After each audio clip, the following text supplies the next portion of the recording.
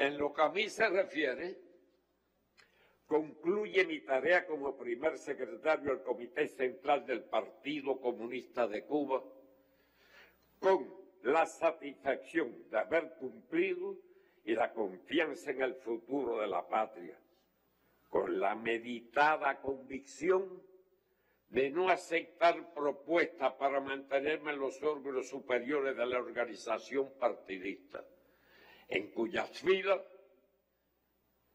continuaré militando como un combatiente revolucionario más, dispuesto a aportar mi modesta contribución hasta el final de la vida. Nada, nada, nada me obliga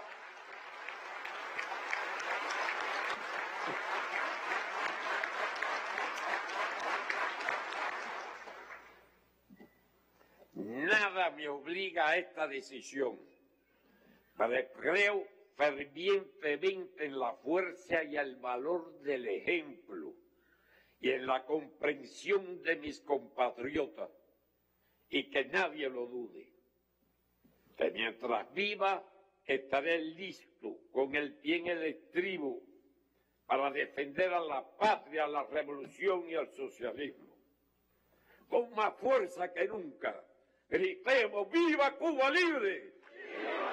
¡Viva, Fidel! ¡Viva! ¡Patria o muerte!